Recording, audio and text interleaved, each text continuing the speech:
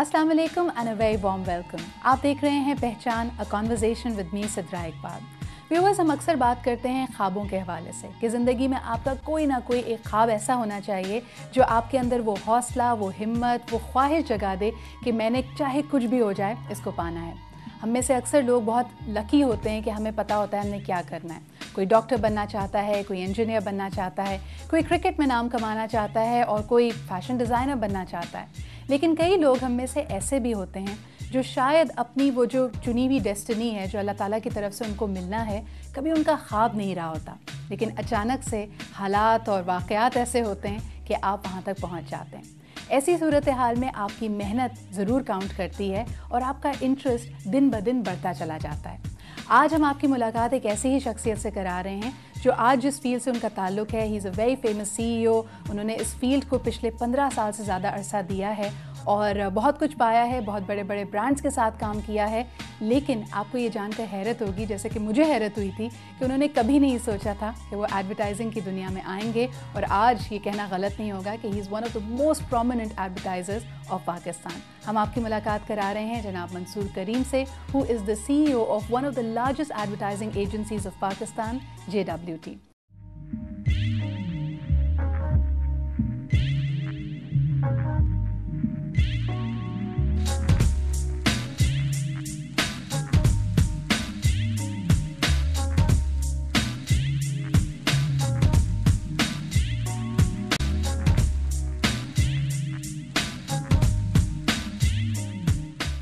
Assalamu alaikum Mansoor. Walaikum Sidra. Thank you so much for taking out time and it's such a pleasure to be here. Same here. Uh, मुझे ये बताएँ कि JWT indeed is Pakistan's one of the leading advertising agencies और अब मैं देख रही हूँ कि अगर आपकी कंपनी को जो कि एक इंटरनेशनल चेन है one of the leading advertising agencies anywhere in the world uh, उसका फ़लसफ़ा या उसका विजन अगर एक लफ्ज़ में कहा जाए तो वर्ल्ड मेड होगा तो वो क्या है और इसके बारे में थोड़ा वर्ल्ड मेड फ़िलासफ़ी हमारी रोल आउट हुई थी 2011 में।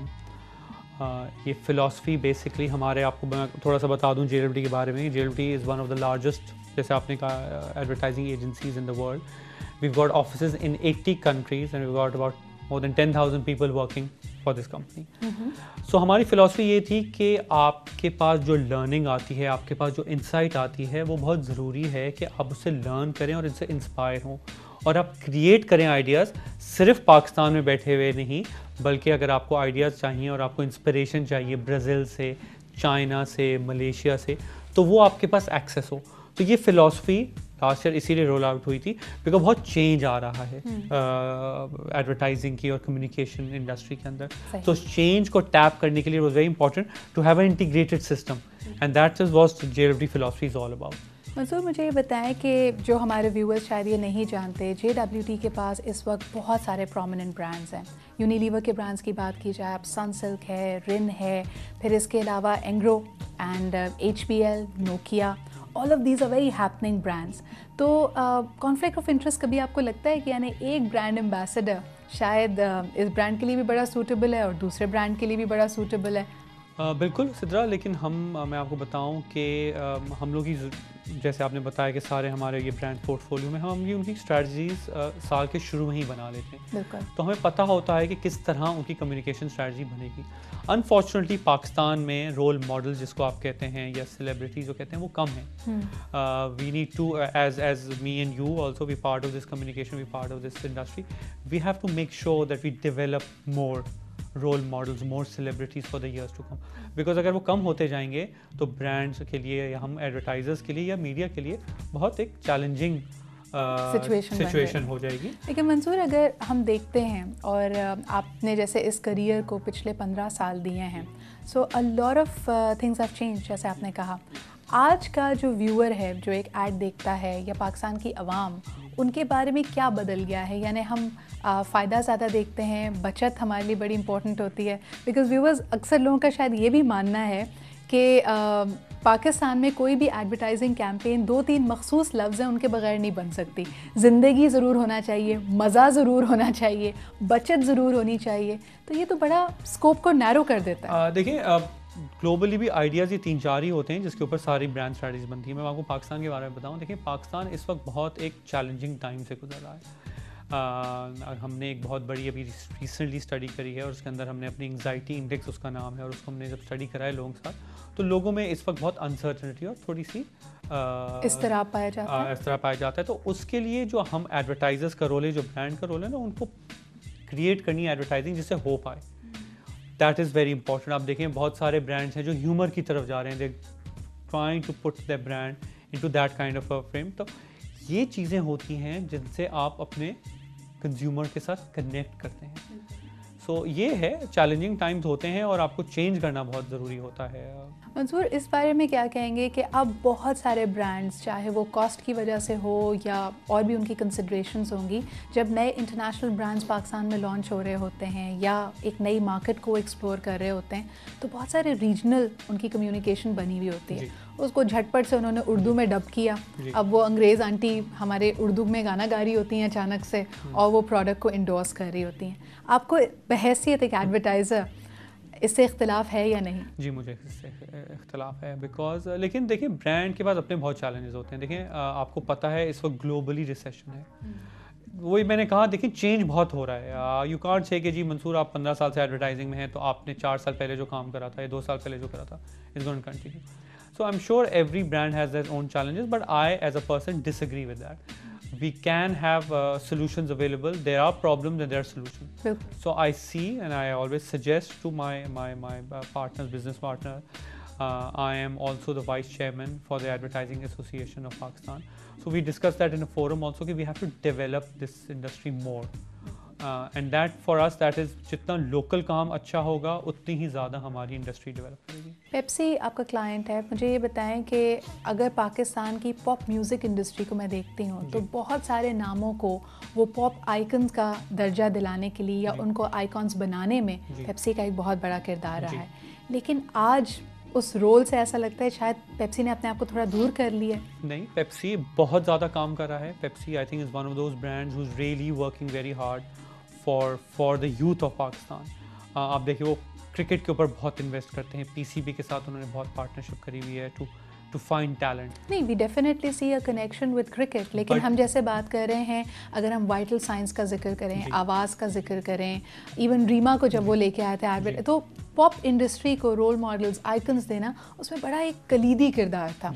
आज किसी ऐसे स्टार को हमारे यहाँ बैकिंग नहीं मिल रही है कॉन्सर्ट्स बेचारे वैसे ही नहीं कर पा रहे लॉ एंड ऑर्डर की वजह से। तो आपको नहीं लगता नहीं, कि थोड़ा और एग्रेसिव आप you will see that in in the next few months you will see the role becoming more aggressive from from the brand side अच्छा और दूसरी तरफ़ हम देखते हैं कि एंग्रो का भी अभी एक नया ऑलपर्स के हवाले से हमने देखा कि Aisam has been taken on board ये डिसीज़न कैसे लिया? इसमें इंसाइट क्या थी? देखिए इसमें सबसे बड़ी इंसाइट थी कि हमारा जो जो अगर आप पोजिशनिंग देखें ऑलपर्स की वट वॉज़ बेसिकली आगे बढ़ने की कुत that was one of the I think tag lines थी।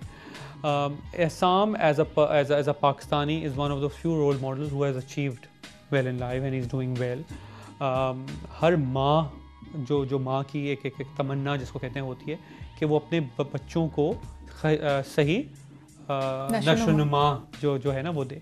And obviously doodh is a very important part of their life and we wanted to basically connect with our mothers and the children Olpers is is is a very very important part of, of should be very important part of their life यानी वो जो champion की एक aspiration होती है और साथ ही साथ एक माँ का ख्वाब plus the strength that you need for life challenges उसको सबको इकट्ठा किया बिकॉज़ उसमें आपने कम्युनिकेशन में देखा ना उसने उसने बड़ी अच्छी हम लोग ने बात की कि दुआ माँ से उसने बहुत कुछ सीखा दादी की दुआ। So it's all the combination of everything which has managed to achieve his his कहते हैं ना his his this I think one of the greatest challenges that advertising agency can have कि वो एक प्रोडक्ट को एक सर्विस को एक ह्यूमन टच देना। कि यानी आप उससे जब कनेक्ट करते हैं तो सिर्फ़ इसलिए नहीं कि उसका कोई फंक्शनल बेनिफिट है आपके पास कि जी आपने दूध पिया तो ठीक है जी नशोनुमा के लिए ज़रूरी है। लेकिन जब एक लॉयल्टी एक ब्रांड के साथ डेवलप होती है वो कनेक्शन एक एडवर्टाइजिंग एजेंसी देती है। देखिए जी बहुत ज़रूरी होता है कि आपका जो ब्रांड है ना और आपका जो कंज्यूमर है they follow in love Mm. That's the most important. Once you do that, then your bond is very, very, very strong. A lot of people who are watching this show, उनका ख्वाब होगा अभी अगर वो students हैं कि वो J W T जैसी कंपनी में काम करें तो आप उनके लिए बताएँ हमें किस तरह के लोगों को you know you take them on board as team members देखिए जी हम लोगों का बड़ा एक uh, अच्छा सिस्टम है एचआर का ठीक है? We always hire young talent Indus Valley के हैं आई बी ए के हैं जबिस के हैं all these people all these these university they producing excellent excellent talent right now मुझे याद है। अब इस वक्त जो एक ग्रेजुएट या मास्टर्स करके निकलता है ही इज़ वेरी वेल कहते हैं ना equipped it's just not academic there so so many other things that is part of and that gives us that kind of an uh, individual who we want. Um, we have a system we have an hr system screening hoti hai passion uh, बहुत ज़रूरी होता है जेएलएफटी में सोच रही थी कि इतने सारे ब्रांड्स हैं जो हर वक्त अग्रेसिव रहते हैं तो वर्क प्रेशर तो बहुत होता होगा। देखिए वर्क प्रेशर है and you will be surprise that all the young talent right now is ready to accept the work pressure that there I don't see people running away from hard work but passion जो है ना passion बहुत देखिए hard work एक बात होता है मजदूर भी सुबह से नौ से बारह काम करता है। लेकिन वो एक हार्ड वर्क लेबर होता है। We need hard working individual but we need passion also we need passion I think in your industry in any one industry passion is one thing which will keep that person वो कहते हैं ना थोड़ा सा पागलपन यानी ज़्यादा पागलपन भी नुकसानदेह हो सकता है लेकिन थोड़ा सा पागलपन होना चाहिए। बहुत ज़रूरी है टू अचीव आपके यहाँ तकरीबन डेढ़ सौ लोग आपकी टीम का हिस्सा हैं। तो क्या होता है? सुबह ही नौ बजे एवरीथिंग स्टार्ट्स टू बाज क्योंकि एक लोगों में इम्प्रेशन आम है कि शायद एडवर्टाइजिंग की दुनिया में लेट सिटिंग ज़्यादा होती हैं दिन रात का कोई इतनी ज़्यादा तफरीक नहीं होती। अब तो खैर किसी भी फ़ील्ड में मेरे ख्याल में नाइन टू फाइव का कॉन्सेप्ट ख़त्म होता जा रहा है। लेकिन ऐसी सूरत हाल में एक जगह का कल्चर एक उसकी अपनी पर्सनैलिटी होना बहुत ज़रूरी है। देखिए jail is one of those few agencies which start at nine o'clock I I can't say that I am here at nine o'clock but I am here at nine thirty and most of my people are here nine thirty work pressures हैं everybody sits late but is just on the agency right now because of whatever is happening globally most of my clients work late but they're usually in office on time so when they're on time we also obviously part of their business कहते हैं partner we also have लेकिन एक नुकसान होगा ना ये world made strategy का। अब जब आपकी शाम हो रही है तो कई जगह दिन हो रहा होता होगा। तो ये टाइम डिफरेंस आप लोग कैसे मैनेज देखिए दुनिया बहुत डिजिटल है हर चीज़ है नेट है मैनेज हो जाती है चीज़ें। अब बिलीव करें जितना ज़्यादा टाइम डिफरेंस पहले होता था अब तो वो मैटर ही नहीं करता। Because everything is now on digital आप घर से बात कर सकते हैं फ़ोन कर सकते हैं घर पे सबके पास नहीं that's exactly what I was getting at कि जी अब वो जो वर्क लाइफ बैलेंस है आपने हर एक को एक तरह से चेन कर दिया उसके ब्लैकबेरी के साथ। जब तक ही आपके साथ होता है तो आप रात के बहुत सारी ब्लैकबेरी की मैं बताऊँ बहुत सारी लर्निंग्स हैं। Lots of people don't use it at home and lots Of people can't live without it तो मेरी इंडिविजुअल वो है कि आप stop checking mails at home after certain because होता है क्या मेल पढ़ तो रहते हैं बट आप उस इन्वायरमेंट में नहीं होते कि उसको जवाब दे सकें because if you're at a friend's house and you have a mail from New York at that time you're not that in frame of mind to answer that email hmm. and you can't stay yeah, in that because sometimes you can uh, so it's better to be in your office environment to answer to all to reply किसी ना किसी तरह manage हो ही जाता है। CEO होने का यही फ़ायदा होता है कि आप आठ बजे के बाद मेल बेशक चेक ना करें लेकिन आपकी अगर कोई मेल चेक ना करे और जवाब ना दे तो फिर उसकी बड़ी शामत आ जाएगी। A lot of my friends are working here at J W T तो मैं लोगों को बताऊँ कि इसी वर्क लाइफ को बैलेंस करने के लिए और एक हेल्दी लाइफ स्टाइल के लिए I have notice that all the employees all the team members at J W T are now becoming fitter I see them lot of times at the gym ये कैसे हुआ है? Uh, not all of them. Obviously, it was uh, it was decided that moving forward, uh, you know, the senior management has to be more health conscious also.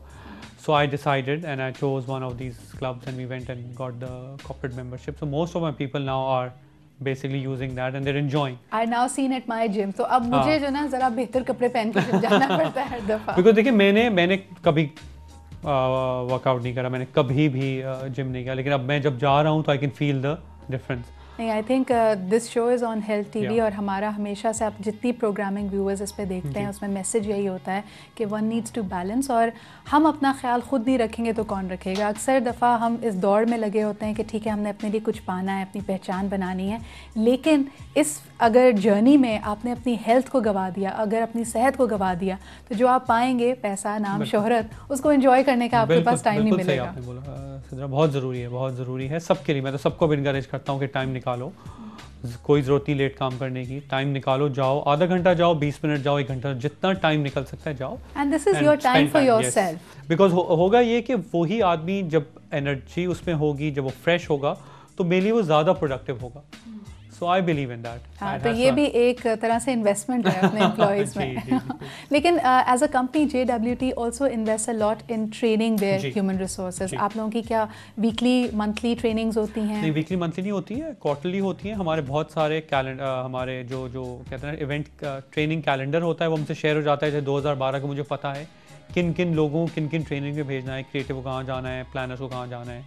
So training बहुत ज़रूरी होती है because learning process जो है ना सदरा वो बहुत इंपॉर्टेंट है for any individual and for any person who is working आप क्या कहेंगे उन लोगों के लिए जो इस वक्त हो सकता है अपनी प्रोफेशन की स्टार्ट में हैं या इसके बाद अभी उन्होंने कदम रखना है प्रैक्टिकल लाइफ में? एक यंग ग्रेजुएट के सामने अगर जॉब ऑफ़र आती है तो उसको क्या देखना चाहिए? उसको ये देखना चाहिए कि उसकी ग्रोथ एंड ट्रेनिंग की अपॉर्चुनिटीज़ कितनी है या आजकल के जैसे हालात चल रहे हैं हमारा सबका एम्फोसिस होता है गाड़ी कौन सी मिलेगी पैकेज कितना मिलेगा तो क्या चीज़ देख के यूथ को जॉब देनी चाहिए? देखिए सिद्रा ये बहुत ही एक कहते ना एज एम्प्लॉय वर्सेस जो कहते हैं ना पर्सन लुकिंग फॉर जॉब एक एक वो है and it's been there when I was also being part of now I hire people I was also hired by my bosses देखिए मैं एडवाइस यही करूँगा यंग लोगों को कि देखिए गाड़ी और पैसा इवेंचुअली आपको मिल जाता है। Right now you need to join the right field which is important don't hunt around don't go into different different industry और कैटेगरी आपको जो शौक है वो करो और उसमें दिल से काम करो। एंड आई डोंट से कि एक कंपनी में ज्वाइन कर लिया तो दस साल वहीं रहो but don't hop that's very important because experience आप लें, दो या तीन साल का एक्सपीरियंस है and then you move but यहाँ मैं देखता हूँ कि बहुत सारा बहुत सारा जो रेस्टलेस फिनोमिना है जो एनजाइटी की भी हमने बात की थी एनजाइटी इंडेक्स भी है तरह भी है। लेकिन I think we have a lot lined up in this interview अभी हमने मंसूर से पूछना है जो मैंने आपको शुरू में भी बताया कि वो कभी भी एडवर्टाइजिंग में आज सच आना नहीं चाहते थे क्योंकि ख्वाब नहीं था बचपन का। लेकिन ये कैसे हुआ और माशाला he is earn so much इसके अलावा उनकी लाइक्स डिसलाइक्स इस इंडस्ट्री के इस वक्त ट्रेंड्स क्या हैं जे में क्या हो रहा है ये हम जानेंगे लेकिन एक छोटे से ब्रेक के बाद। So stay with us Thank you.